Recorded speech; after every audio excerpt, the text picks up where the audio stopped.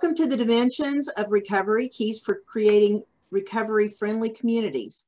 Allow me to introduce the panel for today. We have Emily Birckhead, who is the Executive Director for West Virginia Alliance of Recovery Residences, Dr. Jeremy Hustead, Assistant Professor and Medical, Medical Director, Inpatient Dual Diagnosis Unit, WVU Medicine Department of Behavioral Medicine and Psycho Psychiatry, Deborah Davis, the Executive Director of One Voice, and Ashley Shaw, Director of CORE with Marshall Health.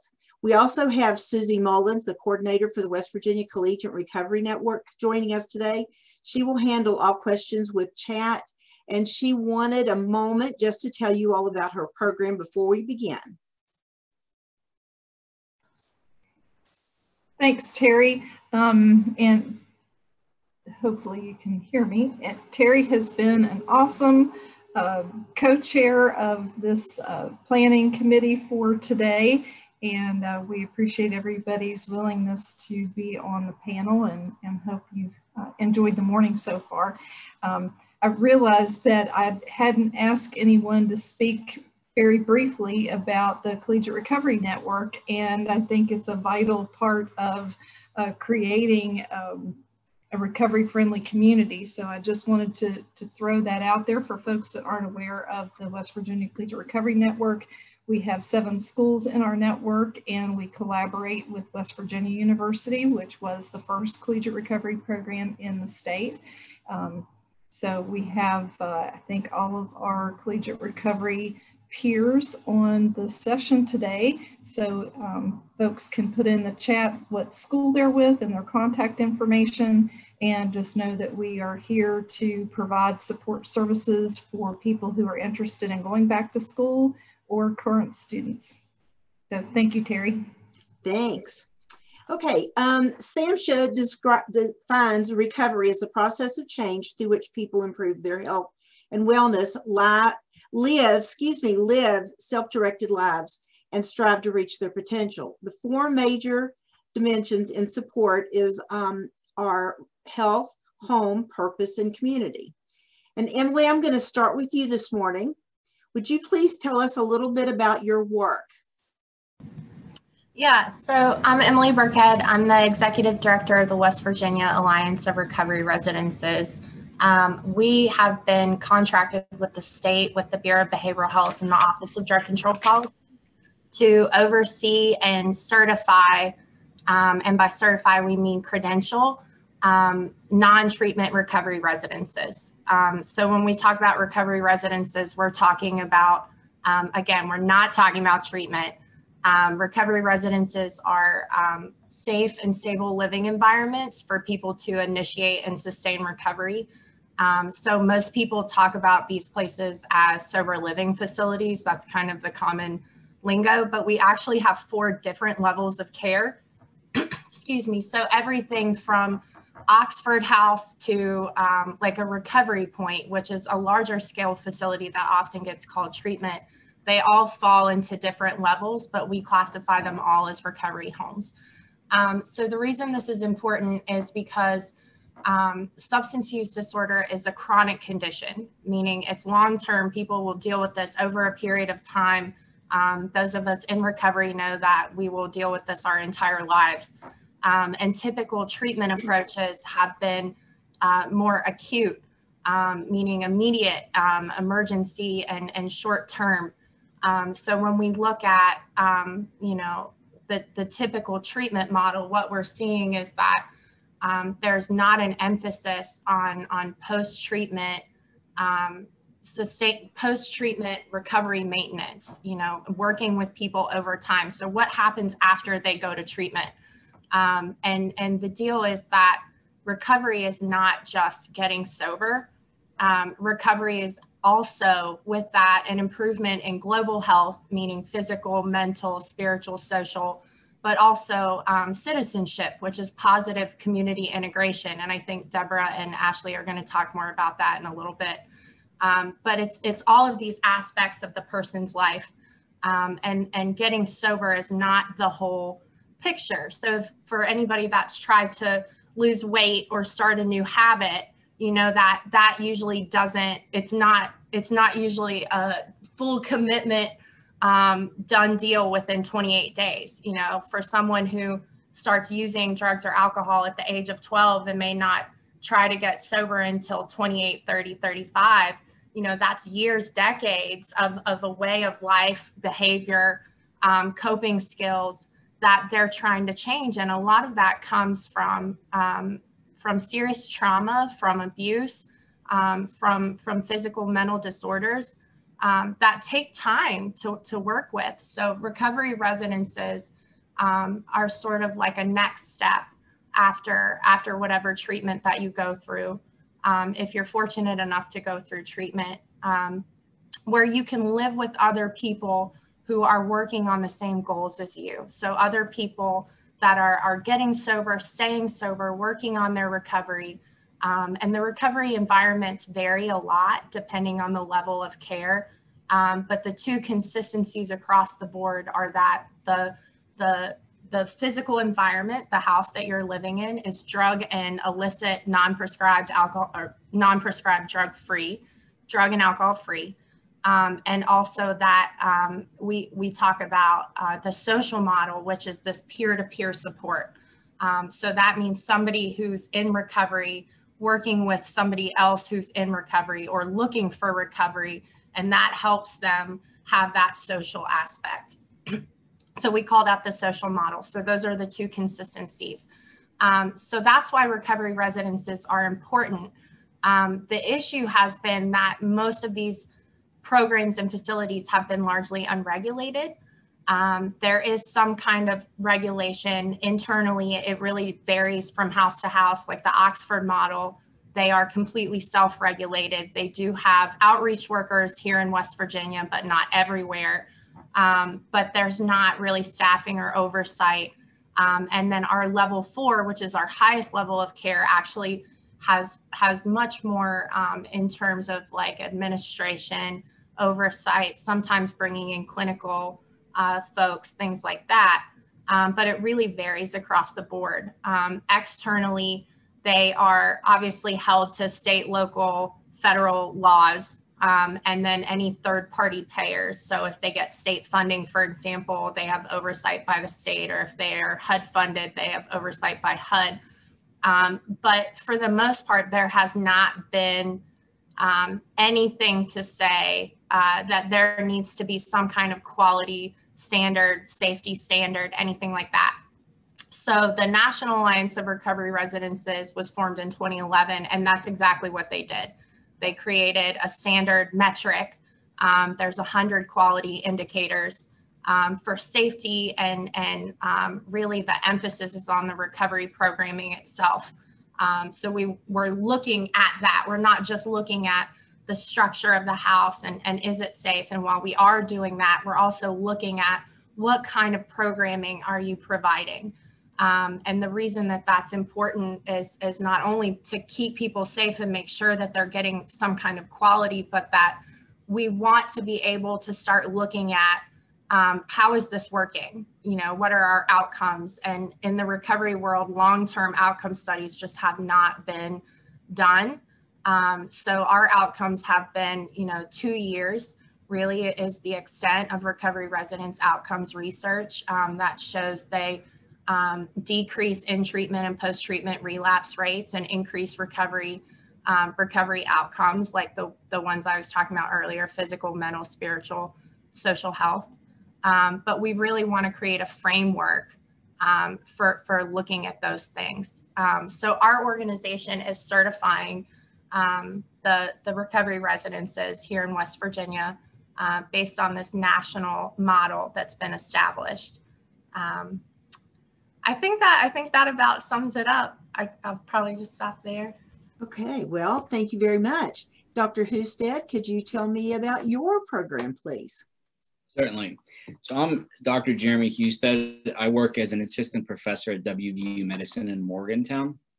So I run the inpatient adult dual diagnosis unit. So um, Emily was speaking about uh, recovery houses, which are, are, a wonderful tool that we try to employ. Um, my level of care is generally the most acute people. So the sickest of the sick. So people that just survived an opioid overdose and they're um, they're in the throes of withdrawal and they come to my treatment, or someone who's dying of alcoholism, and we get them stabilized, make sure that nothing horrible happens to them. Um, folks that are um, using so much meth that they're seeing and hearing things, and you know they're paranoid. Their their family is not their family anymore. Um, folks that have been abusing cannabis for so long that now they they they can't stand to eat food or they're psychotic because of it. So kind of the worst of the worst cases um, is really the main thing that I work on um, here. At WVU, we have a lot of different programs though, so we're, it's not the only treatment we have. So the DDU that I'm on is the highest level, but then we have other things like the acute detox unit, which handles a little bit more straightforward, like opioid detoxes or meth detoxes. And then now we also have 28 day programs. Um, as Emily mentioned, you know, eh, historically what we would do is only detox people and then we'd send them on their merry way and say, you know, you're cured of addiction after seven days. Um, and of course, 99% of people would relapse because it's not really treatment. Um, in the ASAM levels of care, they don't even they don't even consider detox alone to be treatment because it truly isn't. So um, what we try to do is stabilize people on typically on medicines, but not always medicines. If they can go to a 28 day program and they need it, we arrange that, but that also is not the extent of, of care. So 28 days by itself does not cure anybody of addiction. 90 days doesn't cure anybody. Going to a program for a year doesn't cure anybody. It's a good groundwork for recovery, but it's not the end all be all.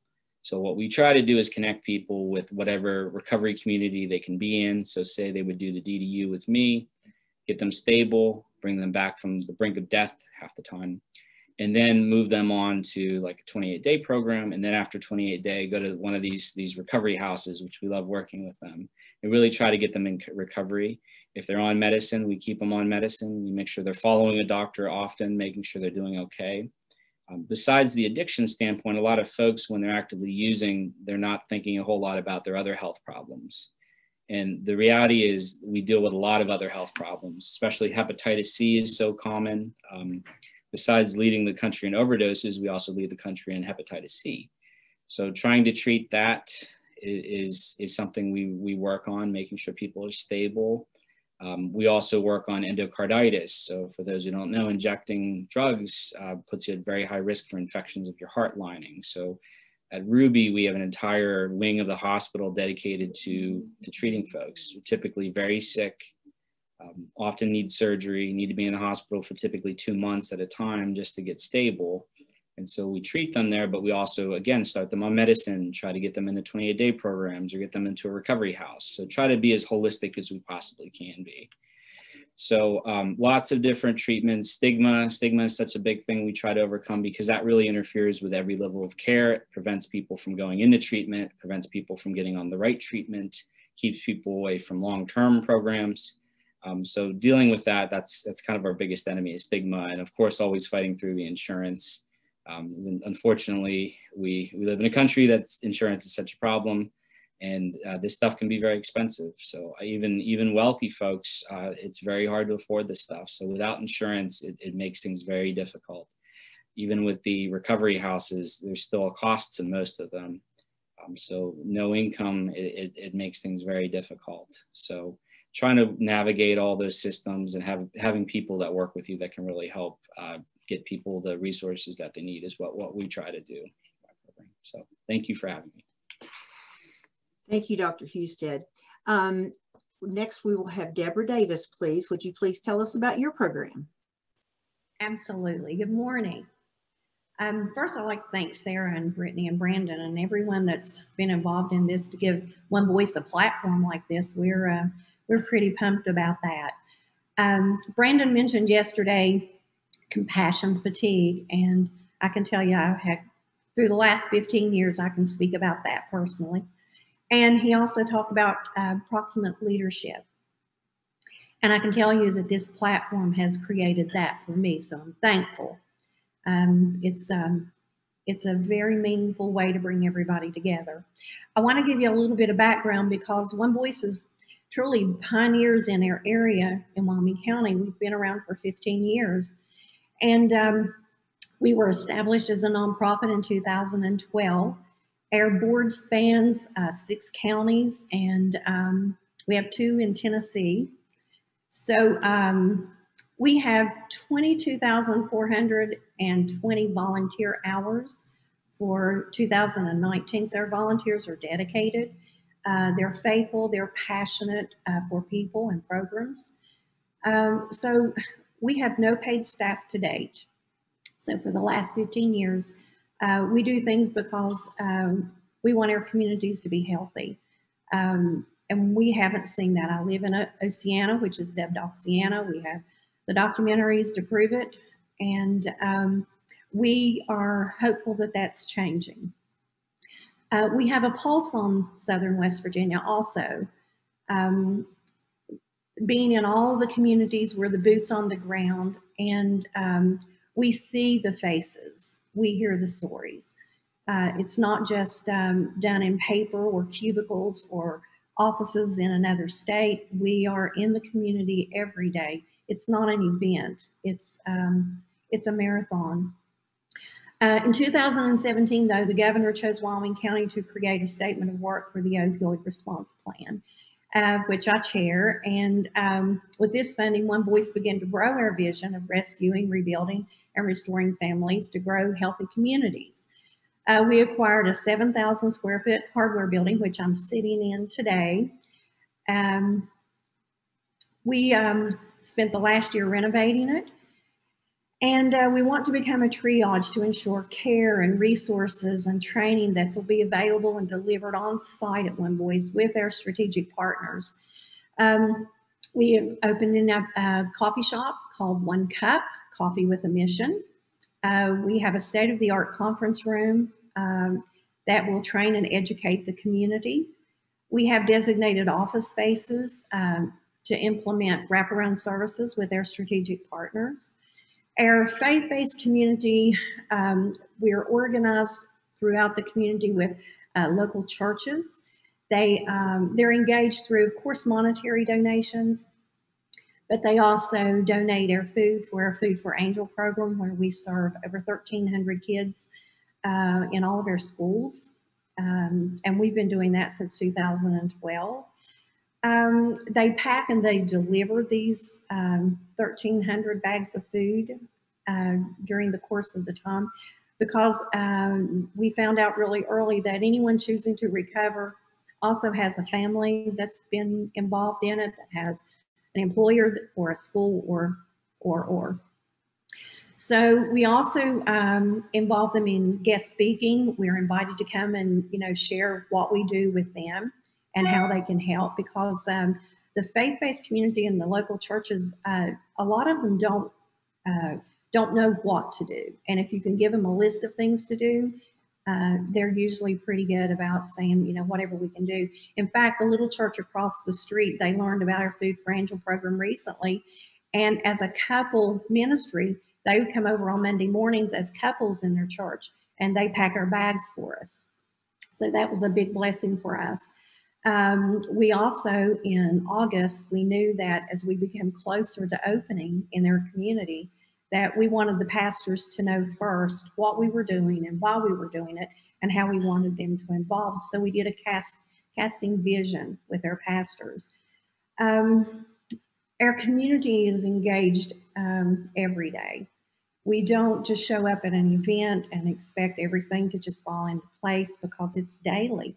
Uh, just like uh, Emily and Jeremy spoke before, um, you can't just say, well, you can come back in three weeks and you can get whatever you need. They may or may not even be alive at that time. So uh, being genuine through the years has caused um, credibility for One Voice that uh, we are non-judgmental. Everybody's got issues. Everybody's got a mess. It just looks different. Um, sometimes theirs is called addiction. Um, we like sitting across the, you know, the table. We like seeing the face-to-face stories. Uh, we want them to see our hearts, not just um, uh, words, lip service, which um, they're used to a lot. And um, we make it real. Ask Senator Manchin. Uh, you can Google uh, Oceana Middle School and Senator Manchin, and You can read wonderful press releases and Senate floor discussions. Uh, it really makes a difference. Our three biggest challenges are transportation, communication, and funding. However, we do have solutions. Um, we decided transportation was an issue in Wyoming County, and anyone that's traveled in Wyoming County, it's a circular thing. We don't have streets, and there's no shortcut to anything. You have to start in one part of the county, and you have to go all the way around to get back to it. That's just how it works. Uh, so we decided we'll just be on Main Street. We're not going to be in any of the outer lying areas. We're just going to be on Main Street, and they can walk to us if they need to. Uh, communication was, we decided to do the conference center uh, have state of the art technology. We can do Zoom. We can do large support groups across the state or nation. Uh, that way, if they uh, they don't have the internet service or they don't have uh, the laptops or whatever, they can come here. And funding, of course, we're always seeking grants. Uh, th this conference is a, a, huge and a wonderful way to network, and we're thankful for that. Um, opportunities for 2021. Moving forward, we are very excited about uh, the replication of our vision. We, uh, the Pack and Go projects that uh, this is going to be our Southern regional office, and we are hoping to acquire two uh, more regional offices, one in the central part of the state and one in the northern part of the state, and this be the pilot program. Um, we, um, we also want to have this uh, community resource building to be a hub. We want it to be a place to gather and to gather safely and to become an employer. Um, partnerships uh, like this has been amazing. Uh, a lot of you I didn't know four years ago, and I'm thankful I can look across and, and share stories now, share partnerships now, and I'm thankful for that. So um, funding sources is uh, is going to be a, a, major thing for us in in our partnerships. So we want One Voice to be utilized as a community resource to fight the stigma, grow the recovery community, and celebrate a happy, healthy, and whole community. And one of the ways that we, um, it's a quick story, but one of the ways that we fought stigma was when we first started our renovation building, we asked Day Report to come over and they brought nine participants and uh, they dropped them off. We had a lot to do. We This was a hardware building. It had a lot of leftover inventory. So we asked the community to come and we worked for four hours. Um, it was nonstop. We sat down, we had pizza together, fellowshipped a little bit together, and then we just began to talk just to build that relationship, which you have to spend the time to do. At two o'clock, they Report had to report back. They got on the van and they left the community was left sitting like, who are those people? You know, they worked more in four hours that we could have got accomplished in four days, uh, maybe four weeks. Um, and that's when you're, you're able to tell them that's, that's their day report, you know, participants and they're vital to your community. They are hard workers. You give them the opportunity, they can do. So the another partnership before I leave, this is our Wyoming County toolkit that Terri and Dr. Mace was instrumental in helping us on. If your county has one, obtain it. We have provided ours in, um, uh, gosh, local businesses, local partners, in our packets when we send them out. Uh, it has all of our resources county-wide. It's a wealth of information and it's very nicely done. So Terri, we are very appreciative and thank you for that. So um, I think that's all I have. Um, I truly hope that we can come together as one voice and impact our community meaningfully. Well, thank you very much, Deborah. And by the way, we have now done toolkits for the entire state of West Virginia in six different regions. And if anyone's interested in anything, please contact me. I will be happy to send you some information on that. And last but not least, we have Ashley Shaw. And Ashley, if you would share some information about your program. Sure. Thanks so much. And good morning again to everyone. Uh, you know what? These these uh, panelists have really summed it up, and I don't really feel the need to say much more. But uh, to tell you a little bit about CORE, uh, again, my name is Ashley Shaw. I am CORE Director. CORE is creating opportunities for recovery employment with Marshall Health. And um, CORE was really created, uh, is really just another component to the continuum of care the individuals in recovery need. And I say that because, you know, sometimes folks um, in the past have kind of seen work as like the end all be all, like if you have to get a job and that's it, and that's going to fix all your problems. And that's just not the case. You know, employment and, and workforce development is really just a component to someone's recovery. And so CORE um, really works comprehensively um, as a liaison between um, participants and employers within the community to help link folks back to work. Um, within their communities. And so uh, we're all about building an infrastructure that supports a recovery ecosystem so that um, folks who are in their communities can really get back, you know, inside of a, a community to have community and really to support the communities that they live in. And so um, CORE spans across a 12 county region. Uh, uh, those 12 counties are broken down into hubs. And, and I'll say this just because I don't know who all is on um, this platform today, but I want to just allow people the opportunity to kind of know where CORE exists in the event your community or some or your organization would like to connect with us. So our 12 counties um, are broken down into what we call hubs. And so hub one serves Cabell, Wayne, and Lincoln counties.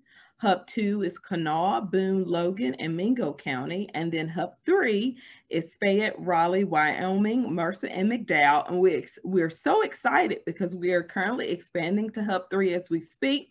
And we're going to be right in that coffee shop with Deb Davis pretty soon. And I'm really excited about it. I want COVID to go away so I can like come and just get me a cup of coffee, to be honest with you, Deb. So um, that just kind of tells you what regions we serve currently.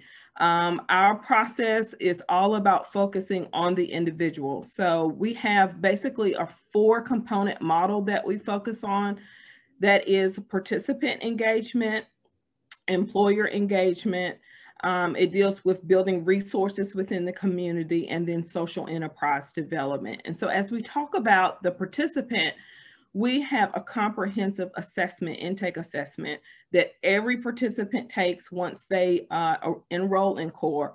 And we take a look at everything, you know, their previous employment experience, their skill sets, their education, barriers to employment, um, their medical history, history, dental history, like all of those things, we take a look at that.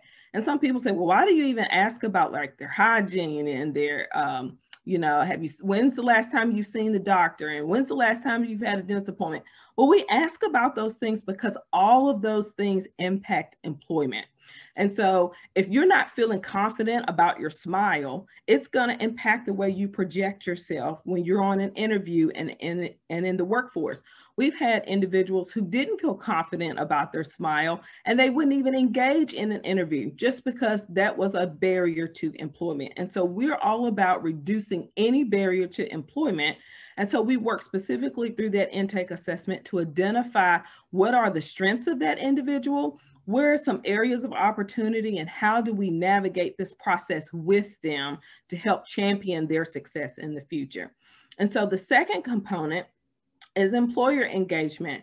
You know, it does no good for CORE to sort of, you know, wave a banner that we're all here helping to get people jobs if we don't connect with employers. So a part of our job is really connecting, getting in the community to learn about employers who are willing to offer that recovery supportive environment. And then if we have employers who are not, sometimes let's just be honest, some employers, you know, they it's it's a little bit terrifying to kind of open up your door in that way. And that's okay. It's about having those conversations to see how we can sort of push the dial along. How can we move you from a no to a maybe to a yes? How do we do that and offer that ongoing support as individuals are hired in recovery to employers to say, okay, what, what problems are you having? How can we work to kind of mitigate those issues as they arise with individuals in recovery? The other uh, portion of that is really community resources. I mean, we have partners everywhere, which is the wonderful thing about CORE is that we really try to focus on having a solution to every sort of barrier that can present itself. You know, one of our greatest partners that we have is really Jobs and Hope. Uh, we've sort of started trailblazing at the same time, and they've been a, an awesome partner to have because we really work together, our staff work together to really sort of support our initiatives together. Um, our partners like One Voice. I mean, I could go on and on about partners, but we really work within the community to sort of establish where are the holes who can fill that hole so that that way if we have a participant who has a need we can direct them in that in that area. And then the other piece of that is just social enterprise um, we understand that there are just some individuals just because of their colored past and things that have happened that it's really difficult for them to gain competitive employment. And so we want to offer opportunities to really start businesses that really employ indiv- specifically employ individuals um, who are in recovery. So CORE is working on a number of, of, projects as it relates to social enterprise development and really, really getting people back working within the communities. Ashley, I know you're putting out a toolkit that works with the employers and it comes out in January. That is the goal. Yes. So I we just got off the call with the chamber yesterday. Uh, we're working with the West Virginia State Chamber. Uh, we are coordinating efforts to try to get that done uh, in January, completed, and and it will be accessible to all employers across the state. So uh, we're really excited about that. And that toolkit will really give employers an opportunity to really educate themselves from what is addiction? What does that look like? Why, you know, why do we consider it a disease? And really, how can I hire and retain individuals who are in recovery? That sounds great. I'm looking forward to talking to you more about that as we discussed earlier. So, okay, now let's get back to Emily. And if Emily would tell me a little bit more about the stable housing impact on recovery. Um, so, you know, a person, you know, like I said earlier, um, in order to to keep people, we're trying to keep people in recovery. We're not just trying to get them sober, and stable housing is a really important part of that. Um, so, one of the things that you know we see is a lot of people have it like people come into recovery from all different walks of life, you know, but many of them do not have stable housing. Um, so depending on the person and their history of use, um, and and it's it's just a really important aspect, you know. But but what we're doing is not just housing; it's also recovery. Um, so when we're talking about recovery housing, it's both. It's this programmatic element and it's housing. So we're sort of at this intersection of the two. Um, and, and what we're doing is we're integrating that element of peer support that I talked about earlier. And then of course, you know, some, some aspect of drug testing. But as you go up the levels of care, the services change. So it really depends on, on the person and where they're at. Um, so not to get too far into it, but for example, our lowest level of care is what most people would call an Oxford house. And as I mentioned earlier, um, at that point, people are living in a house together. It's democratically run, meaning that people are making their, um, the, the group is working together to make the decisions without any um, house manager or CEO or anybody like that telling them what to do or how to be. Um, but there is there is a structure. Oxford House does have a structure that's implemented across the across the country in the same way, um, and then up to a level four um, where you do have you know CEO, you have staff, you have house managers, you have uh, volunteers, clinical people, peer support workers. It can look any any number of ways. Um, so depending on the person um, is really going to depend on on where they go. Um, so the highest level of care is for somebody coming out of, uh, of um, one of the acute the acute programs or, or somebody coming directly off the street. You know, Recovery Point is unique in that they actually have a social detox. So you wouldn't have to necessarily go to treatment first, but a lot of our programs do require some kind of um, either period of sobriety, um, which could be anywhere from three to um, you know, five, ten days. It depends on the house. Um, some do require that you've been to a 28 day program per, first. So it really depends on the person. There's just not a cookie cutter model uh, for any of this at all at any point in time. it just doesn't exist. So it really depends on the person. And when we're, we're looking at where they fit, um, we really want to look at, um, you know, what we call their recovery capital, which is, do they have a history of sobriety? Do they have a strong support network? Do they have internal motivation to recover? Do they have, um, it, you know, it can be any number of supportive factors. Um, and, and we're looking at, you know, where they're at in the process. So I know like Ashley was talking about working with employers to, to help them see like, what are the challenges? What are the barriers? How can we get them along this line of, of agreeing to, to or being committed to doing a certain thing? Um, and we're working with people in the same way at that point and we're really trying to meet them where they're at and that's where our different levels of care come in so it really depends on the person um, you know, like I said, our lowest level of care, there's not a lot of oversight. So ideally at that point in time, that person would have high recovery capital. So maybe they've been sober for six, seven, eight months, and maybe they do go to meetings and they have a sponsor and they're working steps and they really just need that extra little bit of support by living with people in recovery um, in order to, to maintain the path that they're on, because we're talking about a long-term commitment here. Um, so that's a really helpful thing to have. Um, and then the, the level two, um, you're talking about like a house manager um, and, and it's, it's uh, what we call monitored. There's a house manager and then people living in the house. And that's really probably the bulk of the houses that we have in West Virginia um, and then a level three, which is staff with then oversight. Um, and those people are more likely to have structured programming. A recovery point is a level three, um, where every hour of their day is accounted for. Every single hour they are engaged in activities they're being signed off on. There's tons of other people in their program working with them, holding them accountable, being there to support them. Um, and then a level four is actually more, more clinically based um, in most places. So again, it really depends on the person. Um, and that's part of what part of what we've been we've been trying to, to do is that um, one thing that we noticed when we started was that there really wasn't a comprehensive view of recovery housing in West Virginia at all um, that the best resource guides came from these scrappy peer recovery groups um, scattered throughout the state. Um, I, I was a peer recovery person. I had a pretty good list, um, but they weren't all put together in a comprehensive way.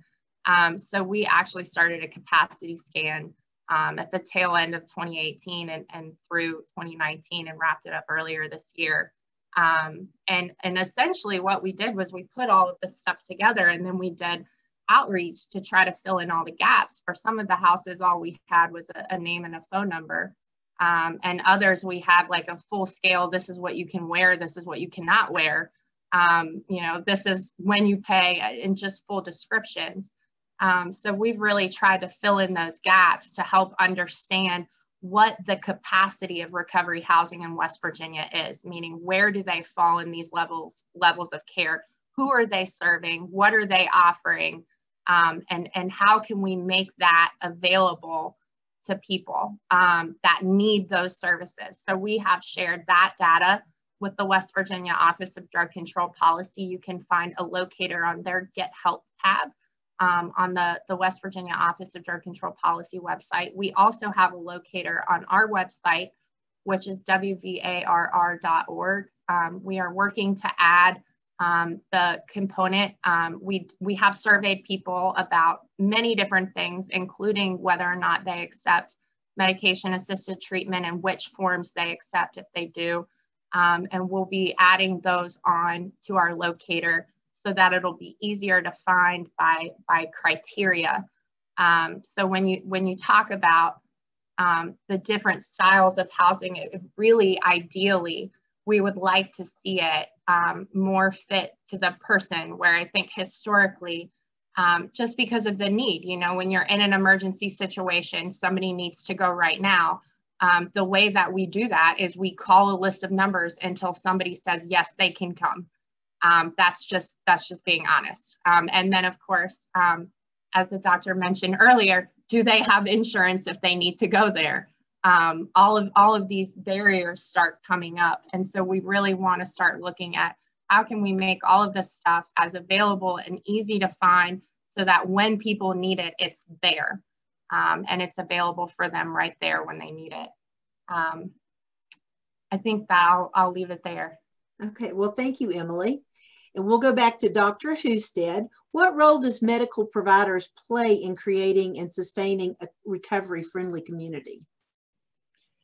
I think we, we can play a huge role. Um, you know, uh, as uh, as Emily mentioned about, you know, medicines can be a part of it. Um, so if somebody is in recovery and they're on appropriate medicines, you know, that's obviously a, a big role that we play, making sure.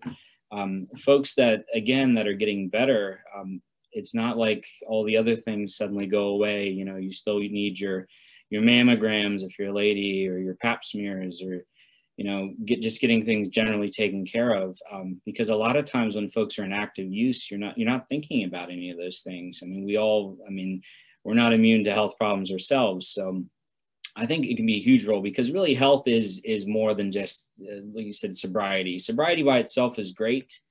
Um, it kind of starts with sobriety, but if you don't have all the other things, you know, you can be sober but still um, still have bad kidneys or you can be sober and you're dying of hepatitis C that's untreated. Um, so I, I, think we can play a huge role. And the reality is, folks, once they start feeling better physically, uh, they'll feel better mentally, and kind of vice versa too. So you, you know, you, what you see is historically you try to tease out, you know, this is mental illness, or this is addiction, or this is physical illness. Um, the reality is it, it's all it's intertwined. Um, so physically you're not feeling well your mood is going to go down. If you're physically feeling terrible, you're going to want to keep using. And so we play a role in trying to help that. You know, there, there's definitely good treatments available, um, really, especially for opioid use. So it, it is gold, the gold standard within medicine is to treat. So historically, it really came down to did a doctor want to? Did a patient want to? Was the recovery setting even accepting of it?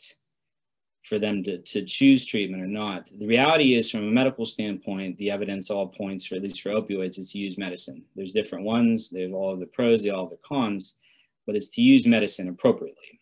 Um, so that's where we can play a role. And the fact that recovery places are opening up and allowing people to be on medicines appropriately is fantastic.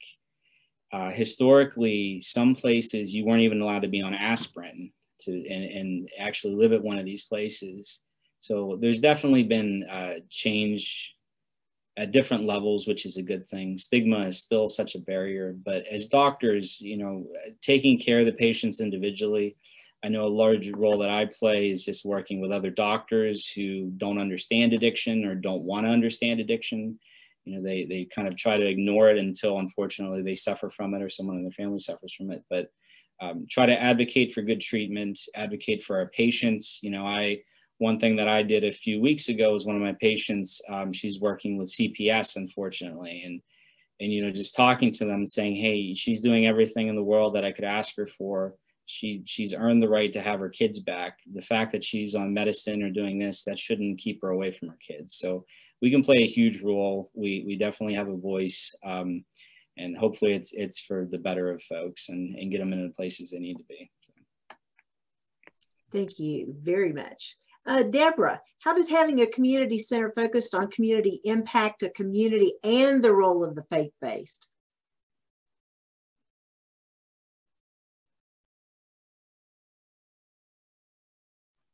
You are on mute. Let me speak to, sorry, let me speak to uh, when we first began in 2005, the local churches said there was no addiction and there was no addiction on, you know, sitting on their pews. Um, and now I can tell you that we have pastors that come in with questions. We have pastors come in with wanting to know what kind of programs that they can have. They also come in with advice now. So um, I, I, had spoke to most of that about um, when when I spoke earlier, but uh, that has been the biggest change with the the faith-based community recently So do you have a group of your faith base that get together on a monthly basis or something that you're able to talk to all of them at one time? Well, we have we have three different counties that have support groups right now. Um, we have one in Greenbrier County, we have one in Raleigh County, and Greenbrier County is working on it. We haven't been able to do anything much in Wyoming County because we've spent our time and focus on the renovation. However, uh, it hasn't stopped our services. Uh, we still do intakes, we still do crisis referrals. Um, we have um, the COVID really just needs to go. We've had we've had a lot of overdoses um, in, in Wyoming County, and it just really needs to go. Yeah, COVID has changed quite a few things, hasn't it? It has. Well, Ashley, I want to hear some of your success stories. I know you've got some success stories that I want to hear about. Sure. Um, I'll start with um, one that in particular that really stands out to me. Um, one of our employment specialists um, had been working with an individual, had labeled himself, had really, uh, you know, come into one of the meetings and said, you know, I'm the bad boy of recovery. That's that's what he had said about himself. I'm the bad boy of recovery. And you know, she inquired as to, you know, why why would you say that? And, and he goes on to say, you know, I have multiple multiple felonies. You know i've been convicted of robbery and just larceny and all just all sorts of things. He had multiple felonies.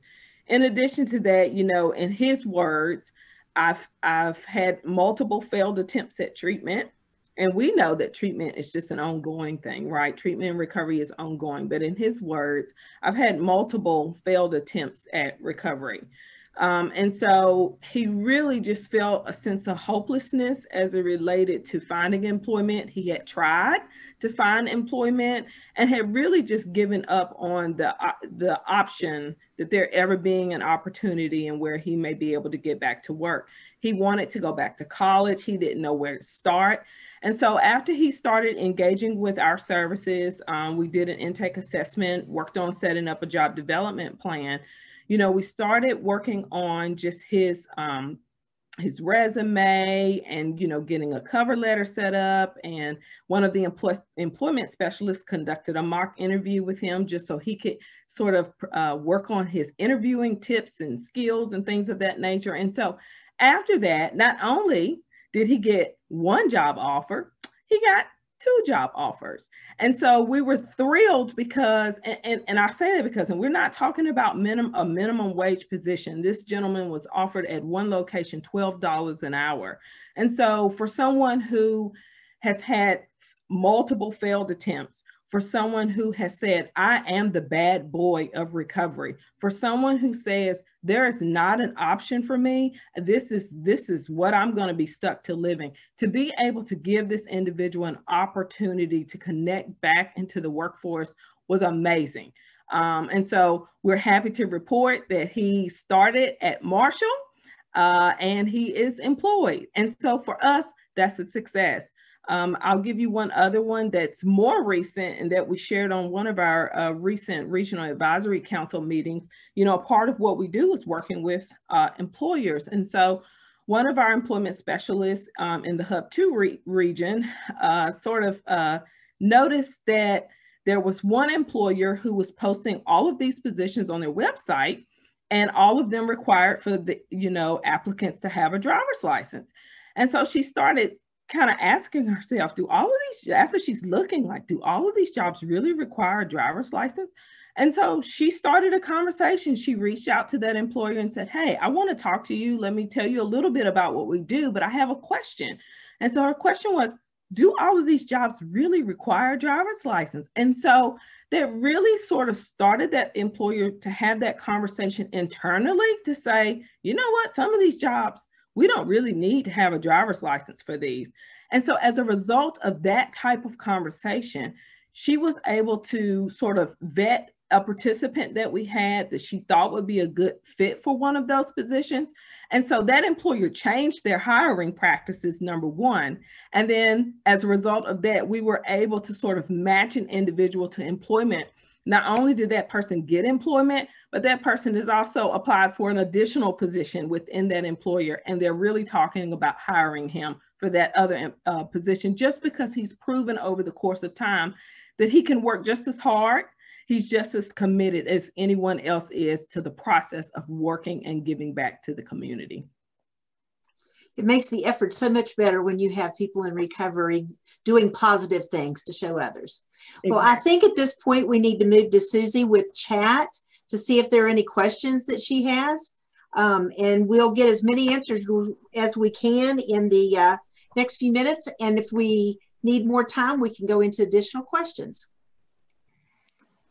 Thanks, Terri. So one of the questions is about limited and no income uh, being a challenge for people that need recovery housing. Um, so are there any funds available um, for people, Emily, that you are aware of that uh, help cover some of those costs? No, there are not. Um, this is actually something that we have been talking about internally. Um, we we did try to apply for some, um, and unfortunately, we're not successful. But this is a major major need. Um, we have seen other states that have earmarked funds in their legislature or have gotten funds um, directly from their state department. It, it really depends on the state and the structure and, and, and the way that they go about that. Um, but it's a significant need because, like what I was saying earlier, a lot of people that are going into recovery housing um, say, for example, they were lucky enough to, to go to a 28 day program. Um, you know, they weren't working while they were in that 28 day program. They probably didn't have employment before. They probably didn't have stable housing before that. Um, and so, how are these people paying? Like when you, so just to, just to clarify, so recovery housing um, is not funded by insurance um, there has been has been a, a shift more recently where the peer support services that are offered in these houses um, may become may be billable services depending on the way that the program is operating in the structure. So if they're working um, in conjunction with um, or even becoming a licensed behavioral health center, then they are able to bill Medicaid um, and other insurance companies for those those peer recovery support services that are offered on site with limit. Um, but most of our, our programs um, are self-pay. So less than 50% get any kind of funding from the state, less than 20% get any kind of funding from, from federal agencies. So that means they are, are sustaining their operation from resident fees. Um, so keeping in mind that those fees do not just, we don't call them rent. It's not just rent. It's also, it's a program fee. And it, it pays for the, the staff that are working there. It sometimes pays for the food in the refrigerator. It sometimes pays for the services that they're offering.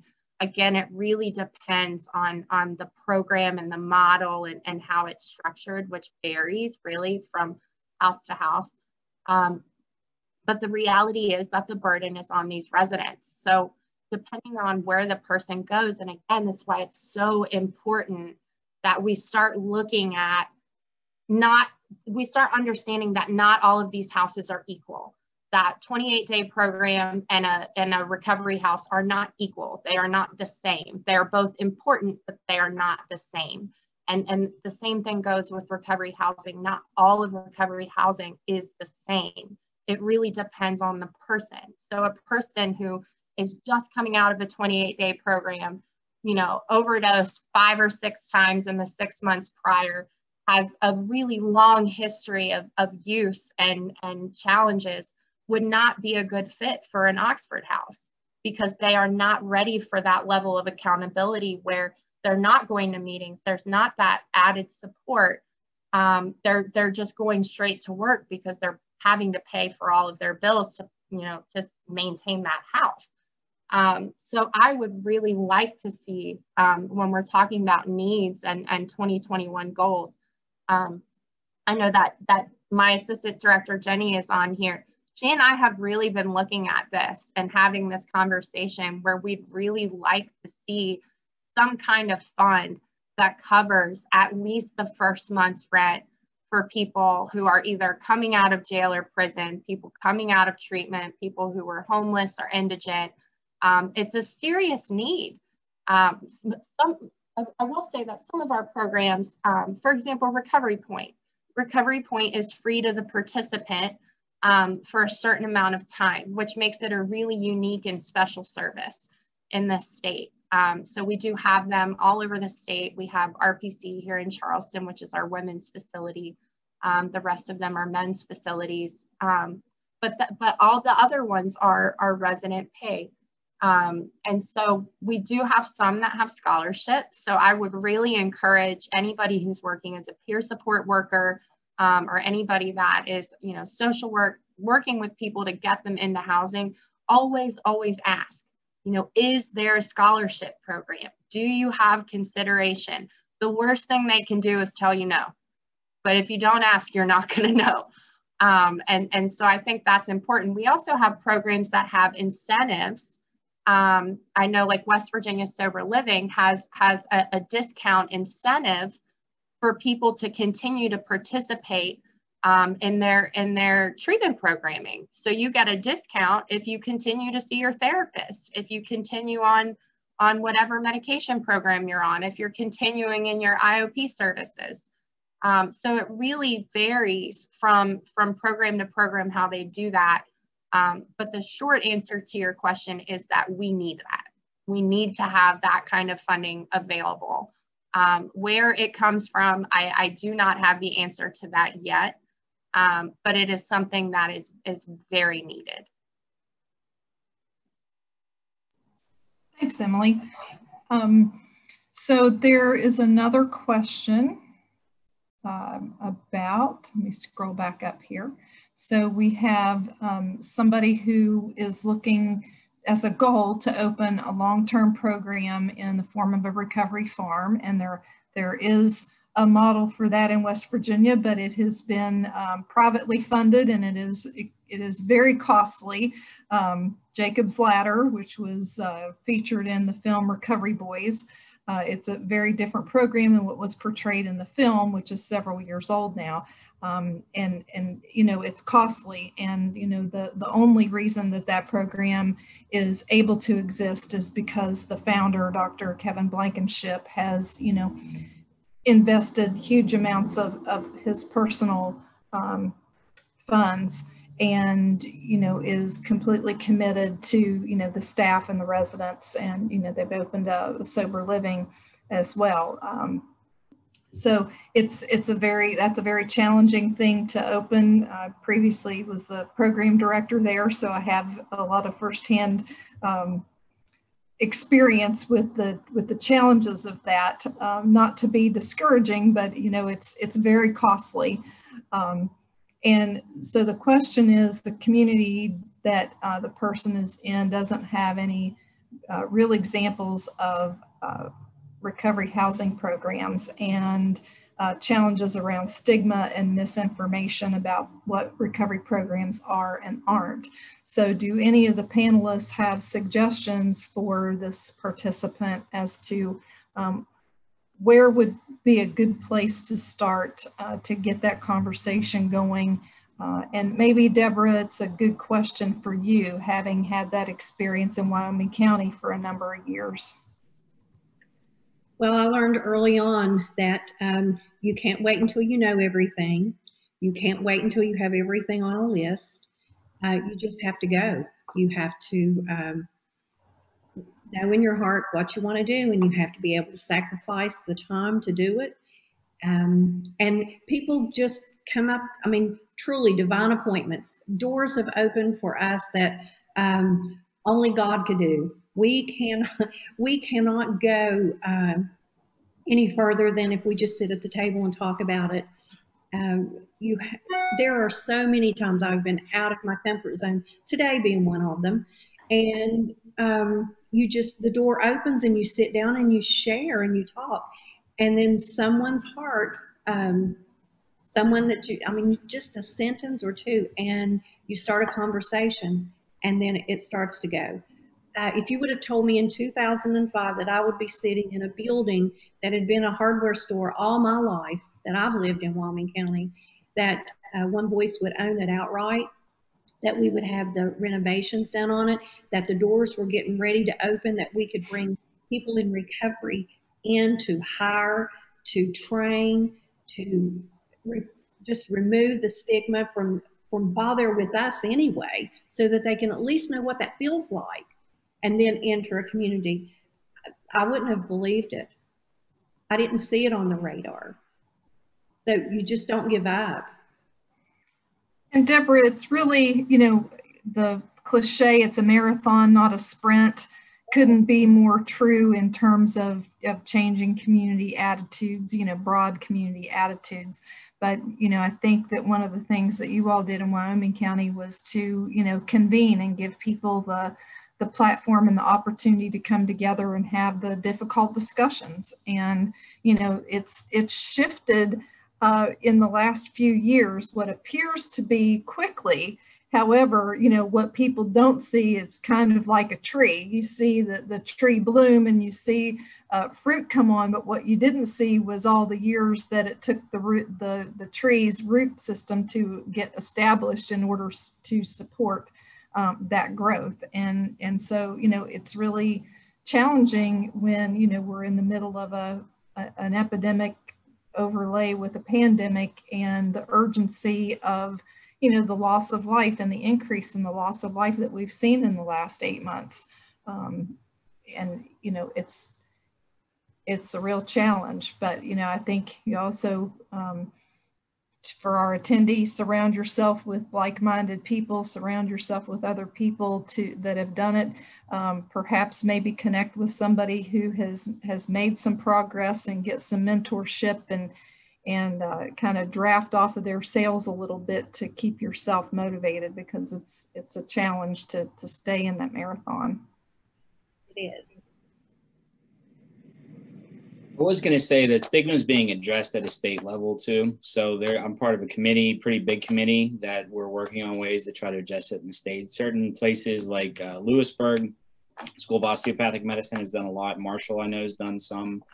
We've set, uh, also done our part here, but it's really trying to coordinate all the efforts uh, you know, a lot of it comes down to education, again, about what recovery looks like, what sobriety is, what medicines are for, what's available, all those things. So it, it's definitely being worked on. You know, there's different levels of stigma. So the, you know, the base le- level is people themselves are very stigmatized. So when you're actively using, you look at yourself a lot differently. I'm sure anybody who's who's struggled with it can agree with that. Um, so kind of overcoming that at just the individual patient level, something like Deborah sounds like she's doing. And then moving up to doctors and politicians and law enforcement is really one of the hardest ones to reach out to. We're, we're also doing a judiciary thing right now where we work with judges throughout the state and just teaching them about addiction treatment, how we do it, why we do it, trying to teach them because they're at a loss. You don't go to law school and think about addiction training. And, and, actually, it's kind of unfortunate, but a lot of um, a lot of medical students, a lot of nursing students, really any student, they have no idea about about how to treat this stuff. Um, and in law enforcement, the training that they get is all negative against any kind of treatment. So it's all about jail, jail, jail, jail, and that's um, that's something that really does need to change and we're working on it. I was going to say too about like in terms of um, getting people treatment they need insurance no or little income is actually not a bad thing because you know thankfully we do have a very good medicaid program in the state. So as long as people have proof of income and they get signed up for it that opens the door to a lot of things. Maybe not some of the recovery houses because you just need cold hard cash for that kind of stuff. But in terms of treatment just getting insurance is not really hard if they're not working. Um, and often we do that when people are in the hospital. We start the process. Sometimes our, they it gets activated while they're here, so they can walk out of here no insurance, almost dead. They walk out of here with insurance, with medicine, with the right treatment, and that's really the the goal for everybody. So. I just wanted to add, because um, I know the person's question was was directly about recovery housing. Um, I'll put my email in the chat, and you can shoot me an email. Um, we have a lot of resources um, for those NIMBY issues, um, specifically surrounding recovery housing. And, and I can say also um, that, that one of the, the things that um, Devin and Susie were saying is, is about giving people a, a, a place to talk about what their concerns are um, and addressing those directly because a lot of people just don't understand um, or, or they've had bad experiences or whatever, but they have some kind of perception in their mind about what these things are. And, and like recently here in Charleston, um, there was this whole, um, you know, it was this whole big deal because there was a program opening up in a residential neighborhood, which is where recovery houses tend to go. Um, and, and it kept being called a treatment program. This treatment program is opening up in a residential neighborhood. And this is where language is everything. Um, because when you talk about treatment, you could be talking about like detox, you could be talking about outpatient, you could be talking about all of these different things. But what I think they were actually talking about was a sober living house. And because they don't know that, you know, there's all of this misconception about what it is and what it's going to be. And of course, people would much rather have people still using drugs and alcohol next door than people who are trying to not use drugs and alcohol next door. Um, but they really just don't understand. Um, and I can say, as a person in recovery, I have a program that teaches me to model by model my transformation and lead by example. And I think one of the things that that we can do better is to to emphasize those stories of people who have and do recover um, and to share those stories with those people and, and show them. So maybe if you know a few people that have been through a recovery house or or people who are in recovery um, i know that i've i've been to a meeting um, here in charleston on on the on the west side. Um, there was somebody who was looking to open a program and asked me if i would come to the community meeting and the, the, they were looking to put a home in a, in a church um, that had been completely untouched and unused for over 10 years. Nothing was happening in that church. And the parishioners were up in arms about thinking that it might become a recovery home. So the person asked me would I come and talk to them about what recovery residences are, what they're not. Um, and when I got there and I told them I was a person in recovery, none of them could believe it because I'm an educated young woman with a, a title. I'm an executive director.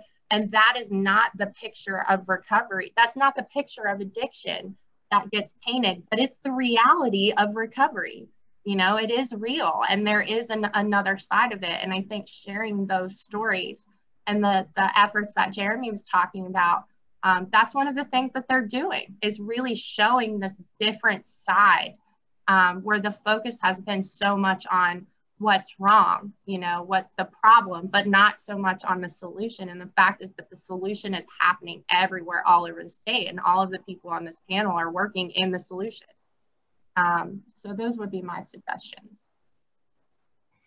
Yeah, thank you, Emily, for that. And, you know, the other there are programs that have been funded in the last few years and expanded, such as LEAD, the Law Enforcement Assisted Diversion Programs. And so there are places, you know, not that every community yet has a LEAD program, but there are places in the state where, you know, those attitudes and, you know, misconceptions are being shifted through programs community-wide through LEAD.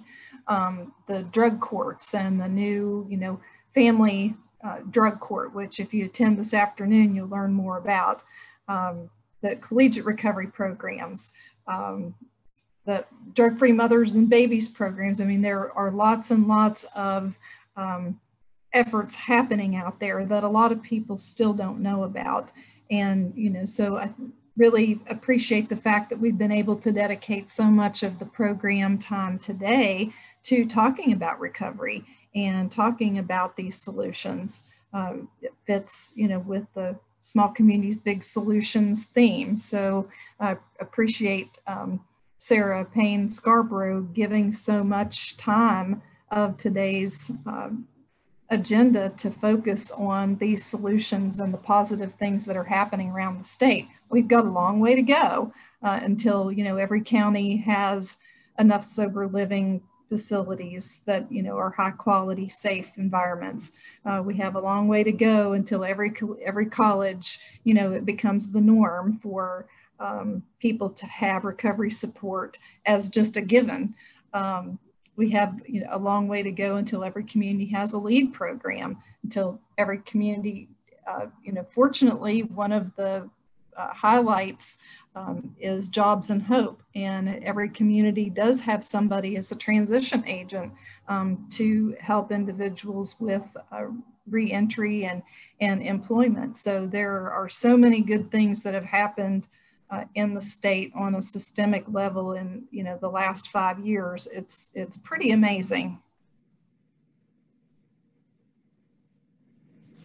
Things are definitely getting better. Now, the last thing I'd like for you all to talk about is some opportunities that you have that for others that could maybe help you. Maybe there's someone out there that can help, but they don't know how. And so maybe someone can speak up or everyone can and let us know what opportunities you have for someone to reach out and work together. Well, I'll jump in and, and, just say for CORE, you know, I, I, mentioned and alluded to, you know, we're really focused on social enterprise development. I think one thing that um, we probably need to take notice of and that we've probably all noticed is that, you know, people are really selling their entrepreneurial skills.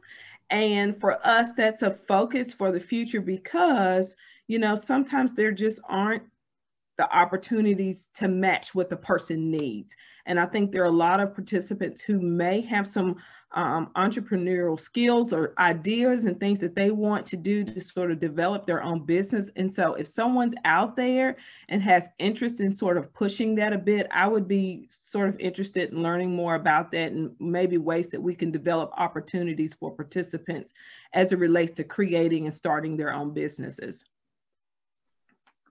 That sounds great. Anyone else? Yes, I'd like to add, uh, we became a workforce host site and um, they send us participants.